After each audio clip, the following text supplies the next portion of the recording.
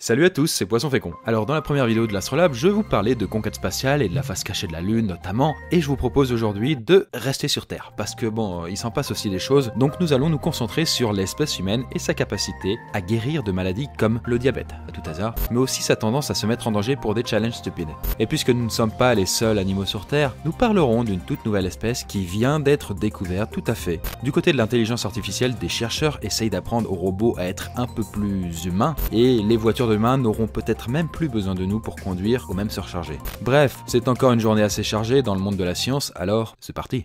Faut-il apprendre la politesse aux robots? Voilà, c'est une vraie question. Sont-ils capables d'intégrer certaines conventions sociales pour vivre plus en harmonie parmi les humains? Eh bien, des chercheurs de Yale se sont penchés sur la question et notamment sur une norme qui nous est chère, la propriété. Et oui, vous n'avez peut-être pas envie qu'un robot vous pique votre stylo préféré parce qu'il n'a pas compris qu'il vous appartient. Bon, cet exemple est sujet à caution, hein, mais vous voyez l'idée. Et avant cette étude, les codes sociaux ne semblaient pas être un sujet central dans le développement des intelligences artificielles. Vous savez, c'était même très secondaire par rapport au travail sur le traitement de la parole ou même de la motricité. Mais ces scientifiques sont convaincus que pour pouvoir interagir et cohabiter facilement avec les machines, il serait essentiel qu'elles comprennent la propriété des objets, les permissions et les coutumes. Voilà. Imaginez que votre assistant personnel soit un robot, humanoïde on va dire, et que vous lui demandiez d'envoyer un message à votre femme. Vous pensez bien que ce serait un peu gênant qu'il prenne le téléphone de votre collègue hein, pour le faire. Il y aurait peut-être un malentendu à ce niveau-là. Et donc les chercheurs ont développé un logiciel d'analyse qui permet aux intelligences artificielles de reconnaître et surtout de respecter la propriété d'autrui. C'est quand même important. En fait, avec la méthode des chercheurs, les robots vont apprendre la propriété comme les enfants le font. En partie parce qu'on leur explique donc les règles du type ne touche pas à cette voiture sauf si on t'a dit que tu pouvais le faire, mais aussi grâce à l'observation. Par exemple, si tu vois que les gens prennent sans le demander des essuie-tout, eh bien ça veut dire que probablement tu peux en prendre aussi. Bon, pour l'instant, le logiciel a été testé avec succès sur un robot de la marque Ruffings Robotics, mais ses concepteurs assurent que ça pourrait fonctionner avec d'autres modèles. Ça fait plaisir de voir un visage familier. Chuta.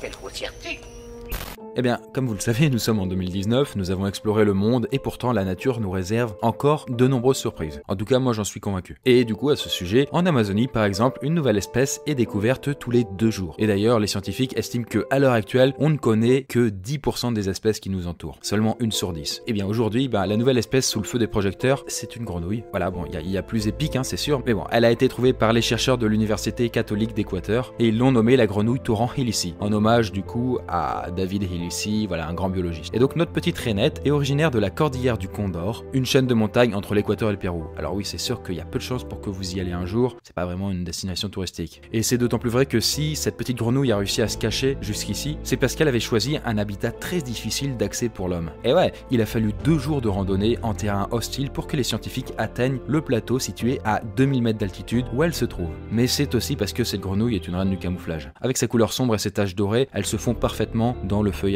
Par contre, petite ironie du sort, parce que même si cette grenouille est préservée des hommes, elle a été victime du changement climatique et de l'exploitation minière. Aujourd'hui, seuls quelques spécimens sont encore en vie. Et oui, donc à peine découverte, la voilà déjà classée parmi les espèces en danger critique de disparition. Et ça, c'est sans doute le lot pour beaucoup d'espèces. Je pense que nous sommes à l'aube d'un changement majeur du climat le constructeur sud-coréen Hyundai ne cesse d'innover. Quelques jours après avoir annoncé que ses futures voitures démarreront grâce à nos empreintes digitales, il présente un système avec lequel ses clients n'auront plus jamais besoin de se soucier du niveau de batterie de leur véhicule électrique, puisque ceux-ci se rechargeront tout seuls. Tout ce concept repose sur la communication entre le smartphone du client, potentiellement vous, la voiture et la station de charge sans fil. Alors bon, pour faire simple, le propriétaire donne l'ordre à sa voiture d'aller se charger depuis son téléphone, la voiture repère la station de charge alors la plus proche et s'y rend, toute seule, comme une grande, elle attend alors qu'une place se libère pour pouvoir se charger. Et dès que la batterie est pleine, elle libère la station et se redirige vers une place de parking vacante avec son système de stationnement automatisé. Et enfin, bien sûr, dès que le propriétaire le souhaite, il peut biper pour que sa voiture revienne comme une grande directement chez lui.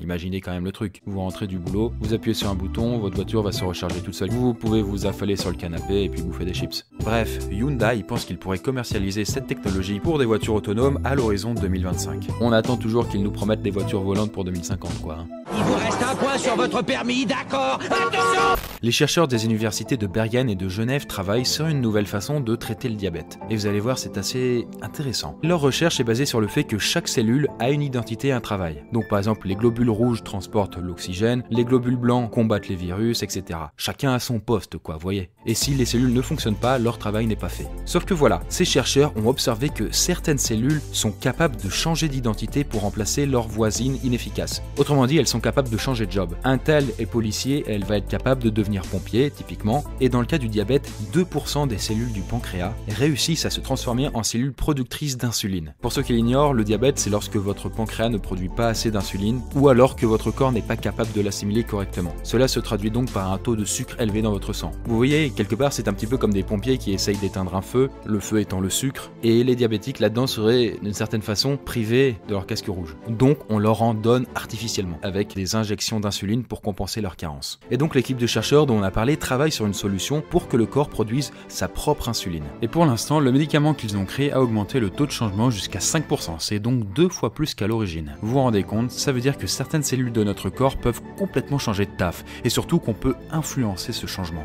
Et ça, c'est quand même énorme, puisque au-delà de pouvoir soigner bah, les diabétiques, ça pourrait aussi être utile pour tas d'autres choses, comme par exemple la maladie d'Alzheimer, où les gens finissent par oublier leur propre vie. Mais bon, tout ça est encore en réflexion, donc attendons de voir, j'ai envie de dire. Nous verrons s'il y a moyen de te guérir de ta folie.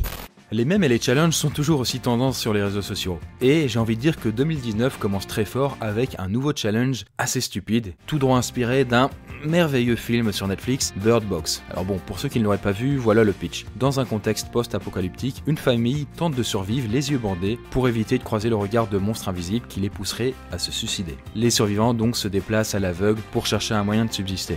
Bon, euh, vie ma vie de malvoyant, j'ai envie de dire. Et le film là-dessus a rencontré un succès assez incroyable puisqu'il a été vu plus de 45 millions de fois en l'espace d'une semaine. Et donc le challenge un peu ridicule dont je vous parle aujourd'hui en est directement inspiré. Et c'est tout simple, hein, les participants se privent de la vue et tentent de vivre leur quotidien. Faire à manger, écrire un texto ou se déplacer quoi. Le tout est bien sûr filmé et posté sur les réseaux sociaux. Alors bon, jusque là c'est plutôt gentil, mais comme tous les challenges, certains joueurs poussent le concept plus loin, peut-être même trop loin, en sortant dans la rue et même en conduisant leur voiture les yeux bandés. Alors bon, je vous encourage évidemment pas à suivre hein, cette voie. D'ailleurs, Netflix s'est inquiété de l'ampleur que prenait ce challenge et a tweeté, je cite, S'il vous plaît, ne vous blessez pas à cause du Bird Box Challenge. On apprécie le soutien, mais on n'a qu'un seul vœu pour 2019, c'est que vous ne finissiez pas à l'hôpital à cause de même. Voilà, à bon entendeur. N'enlevez jamais vos bandeaux. On s'en sortira. Et donc voilà, j'espère que cette vidéo vous a plu et que cette sélection du jour, de la semaine, hein, voilà, vous aura intéressé. Pour ne rien rater des prochaines actualités, n'hésitez pas à vous abonner à la chaîne. Vous avez remarqué, hein, c'est tout nouveau. Hein. Et je publie avec mon équipe très régulièrement. Voilà, on, est au taquet quoi. D'ailleurs, n'hésitez pas à donner vos retours, vos encouragements, vos conseils et j'en passe. Sur ce, la bise et puis à la prochaine.